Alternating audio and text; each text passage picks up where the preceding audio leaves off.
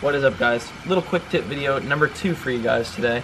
Um, we're out here at the ponds. We're not going to really talk about these too much today, but as you can see they're both doing just fine. We're having another filter come for that one as you saw in the last video. I just bought this filter for the big pond right there. The supporters last video were literally insane. I love every single one of you who support me, all the haters.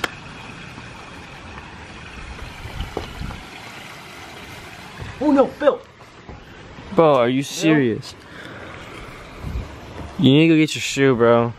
Bill? Come on, not again.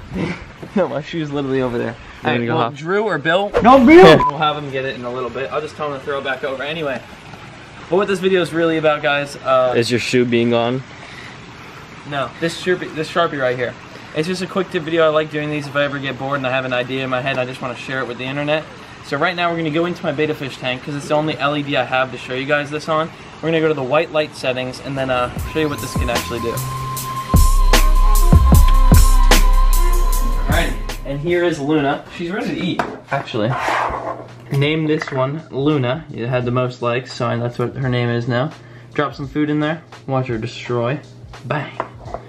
Before we take this light up and show you guys how to make your own blue LED. That was aggressive. Vicious. Bang. I've never seen a betta fish that vicious. Anyway, I think this is the light. Yes, this is. Alright, there we go. So here, you got your white LED, right? It's Or blue. That's blue. That's blue.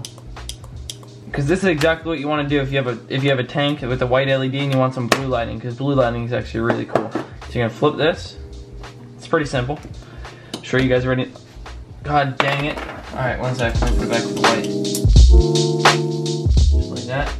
And now you can see, like, if I put it this way, you can see the blue Sharpie. So this is just an example video. I'm gonna take this off because I have different colors to go on here. You just take it off with like hand sanitizer or anything like that that take that removes Sharpie. But it's a little quick tip video on probably like two minutes long. Now I don't post every day, so this is just pretty much an extra video for you guys to enjoy. I'm gonna clip this back on. As you can see, look, it's blue now. It is extremely blue, just like that right there. That right there is how you make your LED in your fish tank if it is white to blue. It looks much cooler as you can see. Luna's liking it. I don't post every single day, so this is pretty much just an extra upload for you guys to enjoy. I usually post every other day is what I typically do. I sometimes miss a day. That is quick tip number two. It is over. And until next time, I'll see you in another video. Peace.